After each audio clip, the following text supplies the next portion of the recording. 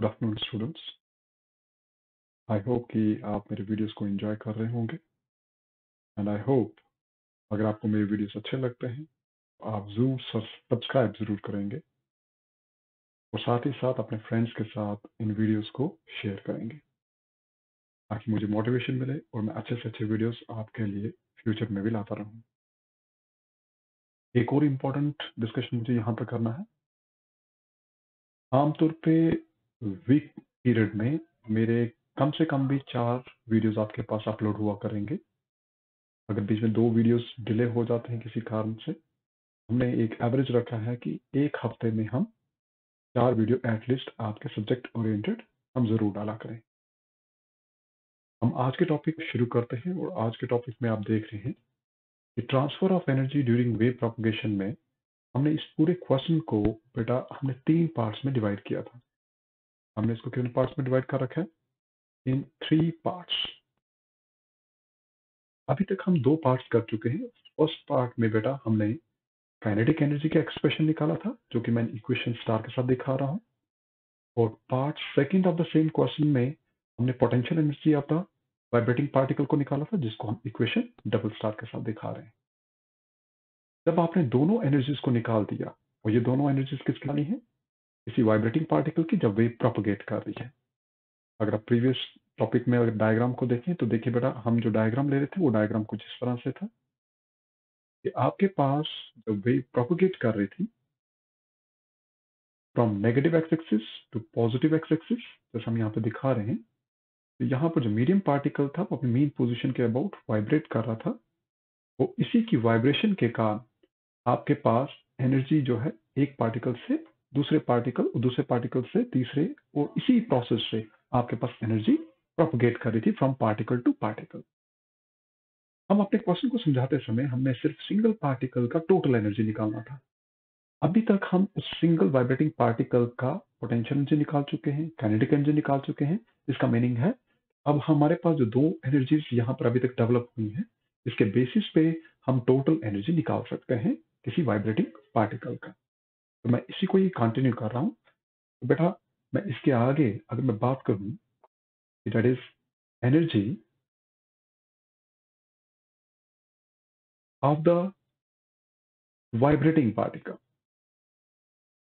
भाई, वो vibrating particle जो आपके पास पोजीशन ओ पर था, जब वेव आपके पास स्टार्ट हो रही थी तो आपको ओरिजिन पे जो वाइब्रेटिंग पार्टिकल उसकी एनर्जी कितनी है? तो यहाँ पर वो एनर्जी अब आपके पास मैं यहाँ पर उसको टोटल एनर्जी कहूँगा।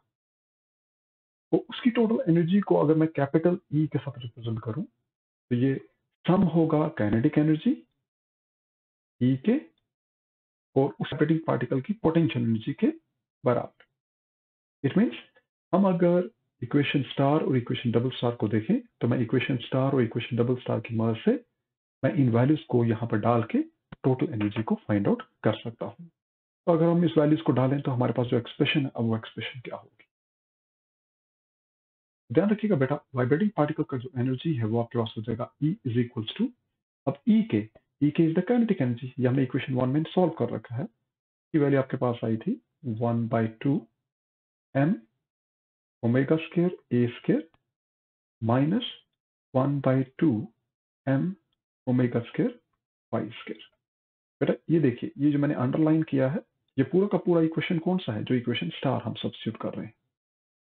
अब हम इसमें ऐड करना चाहते हैं पोटेंशियल एनर्जी को प्लस पोटेंशियल एनर्जी और पोटेंशियल एनर्जी आपके पास किससे मिली इक्वेशन डबल स्टार से, और इसकी वैल्यू हमने जो सॉल्व करके रखी है अभी तक, वो है half of M omega square Y square ये जो पार्ट सेकंड मैंने अंडरलाइन किया ये पोटेंशियल एनर्जी को रिप्रेजेंट कर रहा है। जबकि पहला वाला पार्ट आपके पास कैनेटिक एनर्जी को रिप्रेजेंट कर रहा है। अब बेटा देखिए नेक्स्ट स्टेप में आपके पास इन दोनों एनर्जीज को जब आप सम करेंगे तो आप सेकेंड टर्म और थर्ड टर्म को देखिए।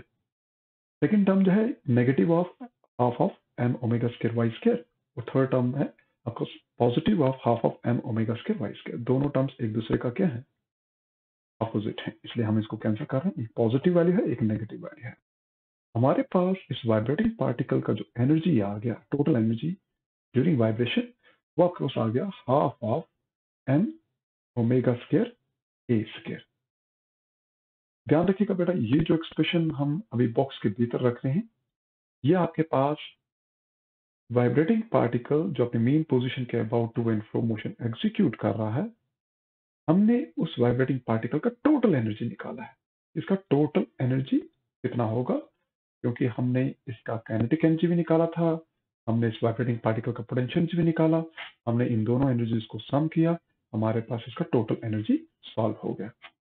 अब लेट करते हैं कि इसको, देखिए, हमारा अगर ये न्यू पार्ट है तो इक्वेशन को आपने कंटिन्यूटी में लेना है, पर लेकिन हम यहाँ पर क्या कर रहे हैं, इस इक्वेशन को हम कंटिन्यूटी में कंटिन्यूटी में हम ले रहे हैं और आपके पास न्यू इक्वेशन आपके पास डेवलप हो रही है। लेट करते हैं कि ये इक्वेशन आपके पास ट्रिपल स्टार क्योंकि डबल स्टार मैं दे चुका हूँ पहले ही।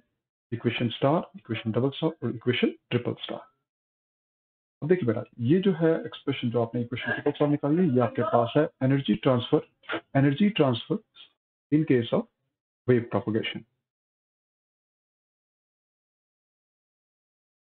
In case of wave propagation,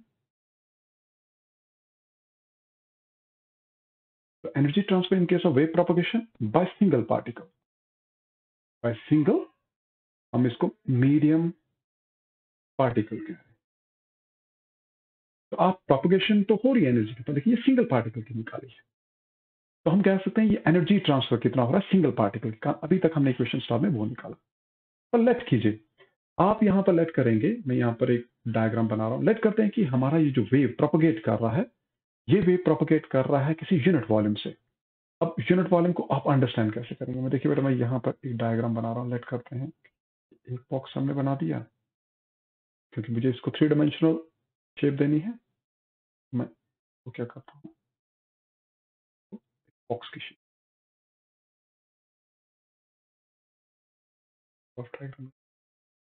late करते हैं। देखिए, मैंने इसको क्यूबाइडल शेप दे दी है, आप इसको क्यूबिक शेप दीजिएगा। इस लेंथ ब्रेथ और हाइट क्या है? सेम रखनी मैं चलो ऐसा ही बना लेता हूँ क्योंकि गलत ना हो जाए। हम क्या करते हैं? एक क्यूबिक शेप दे रहे हैं। मैंने वॉल्यूम एक कंस्ट्रक्ट कर रहा हूँ और एक यूनिट वॉल्यूम कंस्ट्रक्ट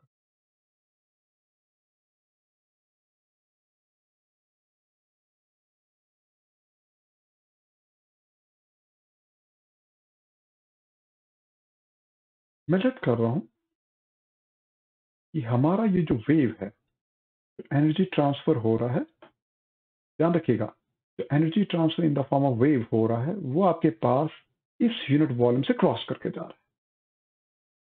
भाई यूनिट वॉल्यूम क्यों? जब मैं यूनिट वॉल्यूम की बात कर रहा हूँ तो आपको पता है कि यूनिट वॉल्यूम में लेंथ ब्रेथ और हाइट यूनिटी के बराबर होती है। ये अगर मैं लेट करता हूँ कि लेंथ आपके पास वन सेंटीमीटर है ब्रेथ भी वन सेंटीमीटर है और हाइट भी वन सेंटीमीटर है तो इसकी वैल्यू हो जाएगी वन सेंटीमीटर क्यूब तो आप एक यूनिट वॉल्यूम अज्यूम कर रहे हैं। हम ये अज्यूम कर रहे हैं कि हमारा जो वेव है, जो प्रोपोगेटिंग वेव है, वो आपके पास इस यूनिट वॉल्यूम से होता हुआ जा रहा है। और आपके पास जब ये यूनिट वॉल्यूम से क्रॉस करके जा रहा है तो इस यूनिट वॉल्यूम में आपके पास जो नंबर ऑफ़ मीडियम पार्टिकल्स हैं मीन्स लेट करते हैं, जो मीडियम पार्टिकल्स हैं आमतौर पर केमिस्ट्री पॉइंट ऑफ़ व्यू से देखें तो हम एजिस पे इन एटम्स को रिप्रेजेंट करते हैं। लेकिन आप अज्यूम कीजिए कि आपके पास इस यूनिट वॉल्यूम में हमारे पास कितने नंबर ऑफ़ मीडियम पार्टिकल्स हैं? N number of N number of medium particles अब आपको बेटा पता है, एक मीडियम पार्टिकल का एनर्जी हम इक्वेशन स्टार में सॉल्व कर चुके हैं। तो अगर दो पार्टिकल होते तो उसका एनर्जी कितना होता? Twice of that energy equation triple star से आपको मिल रहा है। मीन्स अगर एक पार्टिकल का एनर्जी ई से रिप्रेजेंट हो रहा है तो दो पार्टिकल का एनर्जी कितना होता? ट्वाइस ऑफ़ ई तीन पार्टिकल का कितना होता? थ्राइस ऑफ़ ई अगर मैं ज्यूम कर रहा हूँ कि हमारा वेव इस यूनिट वॉल में से क्रॉस कर रहा है, जिसमें एन नंबर ऑफ़ पार्टिकल है, ये एजम्पन लिया जा रहा है तो मुझे बताइए एन नंबर ऑफ़ पार्टिकल के कारण जो एनर्जी होगा वेव का, वो कितना होगा? N times rate of E हम यहाँ पर वही लिख रहे हैं। Then the energy because of n number of such identical medium particles will be वो कितना हो जाएगा वो हो जाएगा N times that of E क्योंकि ई e आपके पास ऑलरेडी है। और आपके पास ये जो अजम्पशन आप ले रहे हैं बेटा, ये आप कह रहे हैं कि ये एनर्जी कहाँ से ट्रांसफ़र हो रही है? That energy is transferred to that unit volume ये आपके पास एनर्जी जो ट्रांसफ़र हो रही है, ये एनर्जी उस यूनिट वॉल्यूम से ट्रांसफ़र हो रही है जो हम दिखा रहे हैं। तो मुझे बताइए energy transfer per unit volume ये आपके पास हो जाएगा एनर्जी डेंसिटी मैं इसको ई e प्राइम लिख रहा हूँ।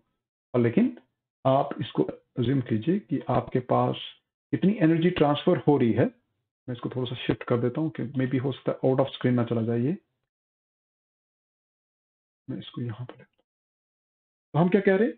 ये जो ई e प्राइम मैंने यहाँ पर लिखा है, ये ई e प्राइम यहाँ पर एनर्जी डेंसिटी को रिप्रेजेंट कर रहा है। Energy density means how much energy is actually propagating through this unit, that is volume. हमारे इस यूनिट वॉल्यूम में से कितनी एनर्जी ट्रांसफ़र हो रही है? हमें इसको कैलकुलेट कर लिया तो इसकी वैल्यू कितनी आ गई? N times that of E E आपने ऑलरेडी निकाला था ऊपर। तो आपके पास ये वैल्यू जो होगी, ये हो जाएगी वन बाय टू एम मैं एन को भी इसके साथ मल्टीप्लाई कर रहा हूँ because you are multiplying N with the whole term on the right hand side तो इसलिए हो जाएगा M into N omega square A square ये क्लियर है? क्योंकि देखिए, आपके पास, अगर देखिए, मैं यहीं पे सॉल्व करके बताता हूँ, अगर आपके पास ये वैल्यू है, अगर आपने लेफ़्ट हैंड साइड को एन से किया तो राइट हैंड साइड को भी एन से करना है। इस एन को आप एम के साथ मल्टीप्लाई करके यहाँ पर लिख सकते हैं, जैसा मैंने दिखाया अब देखिए, ये जो एनर्जी ट्रांसफ़र हो रही थी, बेटा साथ साथ आप क्या देख सकते हैं? यूनिट वॉल्यूम इसका मीनिंग नीचे डिनोमिनेटर में आपके पास वॉल्यूम है। लेकिन उस वॉल्यूम का वैल्यू कितना है? वन है इसलिए हम डिफ़ॉल्ट वहाँ पर दिखा नहीं रहे, पर लेकिन आपको दिमाग में रखना है कि डिनोमिनेटर में ये जो वैल्यू है, ये वन जो हमने लिखा है, ये किसी यूनिट वॉल्यूम को रिप्रेजेंट कर रहा है। इसलिए मैं इसको लिख सकता हूँ one by two M into N अब देखिए, एक पार्टिकल का मास अगर एम है, अगर दो पार्टिकल होते तो मास कितना होता? ट्वाइस ऑफ़ एम अगर तीन पार्टिकल होते तो मास थ्राइस ऑफ़ एम होता। पर लेकिन हमारे पास इस केस में कितने नंबर ऑफ़ पार्टिकल्स हैं? एन है। तो इसलिए मास कितना हो जाएगा? मास हो जाएगा M times that of N ध्यान रखिएगा, ये जो एम एन है जो total mass of the medium particle है, उसको मैं एम लिख रहा हूँ डिवाइडेड बाय ये वन जो है, किसी यूनिट वॉल्यूम को रिप्रेजेंट कर रहा है into omega square into A square और आपके पास ये जो वैल्यू है that is one by two M by one ये आपके पास that is mass per unit volume ये डेंसिटी को रिप्रेजेंट कर रहा है, और ये डेंसिटी है density rho this is rho omega square A square तो आप देख रहे हैं कि एनर्जी डेंसिटी की जो वैल्यू है, अभी तक जो आपने फाइंड आउट की, वो एनर्जी डेंसिटी की वैल्यू ई प्राइम से रिप्रेजेंट हो रही है और उसकी वैल्यू है one by two rho omega square A square ये आपने एनर्जी डेंसिटी अभी तक निकाल दी।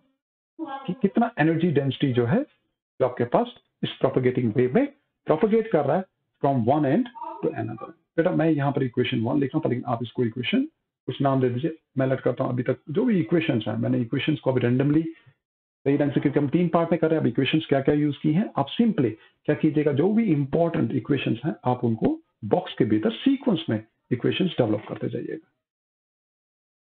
मैं यहाँ पर इसको इक्वेशन नंबर फोर से रिप्रेजेंट कर रहा हूँ, आपके अकॉर्डिंग आपका जो इक्वेशन नंबर होगा, आप उसको डाल दीजिएगा। अब देखिए बेटा, ये एनर्जी डेंसिटी आपने निकाल दी। अब इसी के बेसिस पे आपको कहा जाता है कि आपके पास एक्सप्रेशन निकालिए। ये इंपॉर्टेंट क्वेश्चन है और एग्ज़ाम्स में आमतौर पे आता है इंजीनियरिंग स्टूडेंट्स को कि भाई आप एक्सप्रेशन निकालिए कि भाई अगर एनर्जी डेंसिटी इतना है तो फिर इंटेंसिटी कितनी है? कितनी इंटेंसिटी जो है वो वेव अपने साथ अपने साथ प्रोपोगेट कर रहा है। Intensity of the propagating wave हम intensity of the propagating wave को यहाँ पर कैपिटल आई के साथ रिप्रेजेंट कर रहे हैं। और अगर फिजिक्स पॉइंट ऑफ़ व्यू से देखें तो इंटेंसिटी की जो डेफिनेशन होती है बेटा वो होती है आपके पास कितनी एनर्जी ट्रांसफ़र हो रही है?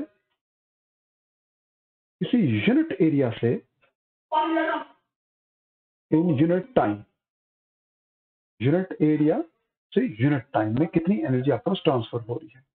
अगर मैं इसी सिंपल इक्वेशन को, देखिए बेटा, आप अगर इस इक्वेशन की बात करें तो इस इक्वेशन को मैं सिंप्लीफाइड टर्म्स में कैसे लिख सकता हूँ? इसको सिंप्लीफाइड अब देखो बेटा, ये जो इंटेंसिटी है इंटेंसिटी की जो वैल्यूज़ हमने फाइंड आउट की है अभी तक, उस पर आप देख रहे हैं कि इंटेंसिटी को मैथमेटिकली अभी तक हम कैसे डिफाइन कर रहे हैं? इंटेंसिटी को हम डिफाइन करते हैं फॉर अ प्रोपोगेटिंग वेव कि कितना एनर्जी ट्रांसफ़र होता है किसी यूनिट एरिया से इन यूनिट टाइम अब इसको अंडरस्टैंड करने के लिए बेटा, आप इसी डायग्राम को देखिए।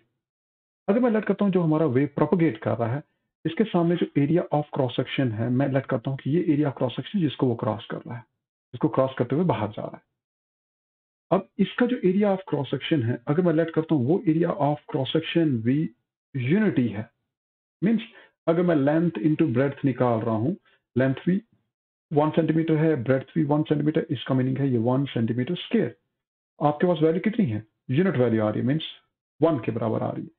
तो मैंने कहा कि अगर आपके पास जो एनर्जी प्रोपोगेट कर रही है किसी एरिया ऑफ़ क्रॉस सेक्शन से, पर लेकिन ध्यान रखिएगा बेटा, इसमें एक चीज़ याद रखनी है कि टाइम भी आपको लेना है कि लेट कीजिए कि वो जो एनर्जी ट्रांसफ़र हो रही है यूनिट टाइम में है मीन्स वन सेकेंड में ट्रेवल कर रही है।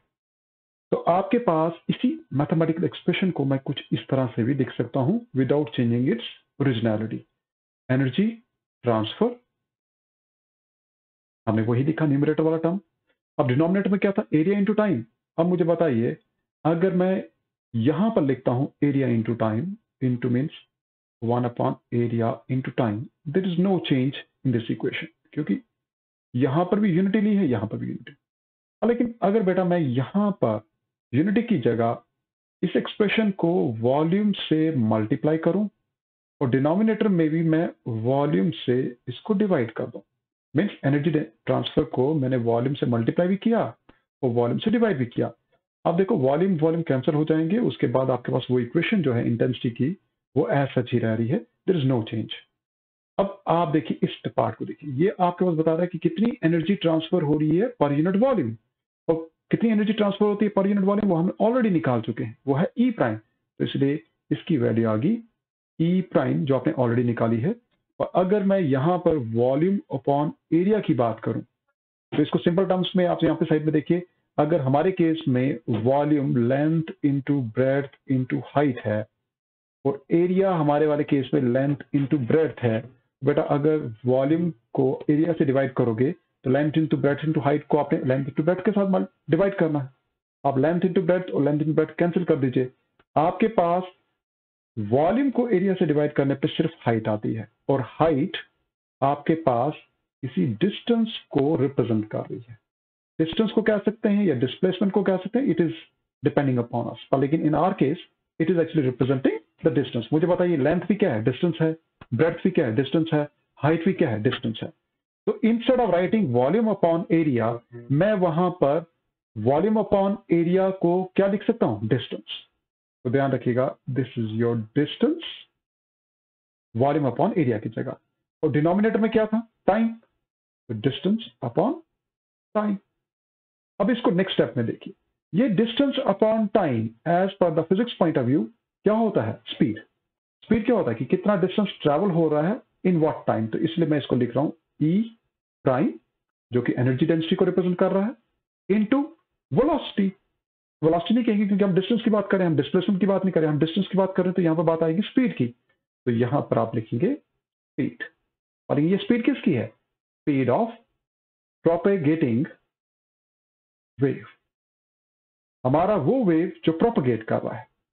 और आप देखिए this is your E prime और स्पीड ऑफ़ प्रोपोगेटिंग वेव जो होती है, उसको हम स्मॉल सी से रिप्रेजेंट करते हैं, क्योंकि हमारी जितनी भी कैलकुलेशन हुई है, हमने speed of the propagating wave को हमने सी से रिप्रेजेंट किया है। अब नेक्स्ट स्टेप में आप देखिए लेफ़्ट हैंड साइड में intensity of the propagating wave है which is equal to E prime वो ई प्राइम की वैल्यू आपने बेटा निकाली हुई थी, वो थी half of rho omega square A square by equation four अब मैं इस इक्वेशन फोर से, मैं यहाँ पर सब्सटीट्यूशन कर दूँगा this is your half of rho look at this मैं इस इक्वेशन को यहाँ से कॉपी ही कर लेता हूँ, ताकि हम, मैंने इस इक्वेशन को कॉपी किया। और मैं इस इक्वेशन को यहाँ पर सब्सिट्यूट कर तो ध्यान रखिएगा बेटा, आपने इस इक्वेशन को सब्सिट्यूट कर दिया। ये हमारे पास क्या आ रहा है? इंटेंसिटी जो है, वो ई e प्राइम की वैल्यू जो है, वो आपको कितनी आ गई? ई प्राइम की जो वैल्यू आपके पास आई वो half of rho omega square A square I. Half of rho omega square A square half of rho omega square A square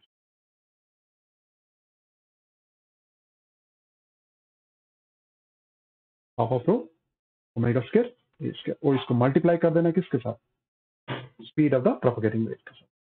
further इसको सिंप्लीफाई कैसे करेंगे? One by two rho omega जो है एंग्लो फ्रीक्वेंसी इसकी value होती है two pi into linear frequency nu उसका square है into A square into C for the simplification में देखिए value one upon two rho अब ब्रैकेट के भीतर जो वैल्यू उसका स्केयरिंग करना है तो टू का स्केयर होता है four this now becomes pi square this is nu square this is A square times that of C इसको सिंप्लीफाई करने पे टू टू द फोर आप सिंप्लीफाई कर लीजिए that becomes two rho pi square nu square A square C look at this तो आपके पास ये जो एक्सप्रेशन डेवलप हुआ है, ये एक्सप्रेशन किसका है? ये expression intensity of the propagating wave का है। और अगर मैं इसके यूनिट्स की बात करूँ तो यूनिट्स देखिए यूनिट्स आप यहाँ से भी निकाल सकते हैं। क्योंकि इंटेंसिटी का डेफिनेशन कहता है एनर्जी ट्रांसफ़र अपॉन एरिया और यूनिट टाइम तो एनर्जी के जो यूनिट्स होते हैं, बेटा आपको पता है ऐसे सिस्टम में जूल्स हैं एरिया के मीटर स्केयर है और टाइम के सेकेंड्स हैं। तो आप joules per metre square per second की टर्म्स में आप इसको एक्सप्रेस कर सकते हैं। तो आप ले joules per metre square second inverse तो ये आपके पास किसके यूनिट्स आ गए? Intensity of the propagating wave के आई होप कि आपको आप, आज का वीडियो जो है वो कॉन्सेप्ट बेस्ड आपको समझ में आया होगा। अगर आपको लगता है कि ये वीडियो आपके लेवल का है तो प्लीज़ ज़्यादा से ज़्यादा बच्चों को क्या है कि या फिर अपने साथियों को क्या है कि आप चैनल को सब्सक्राइब कीजिए और साथ साथ इसको शेयर भी कीजिए। और जाते जाते लाइक बटन को दबाते हुए जाइएगा। Thank you